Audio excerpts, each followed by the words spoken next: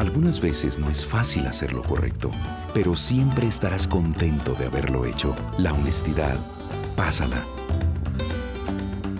Un mensaje de la Fundación para una vida mejor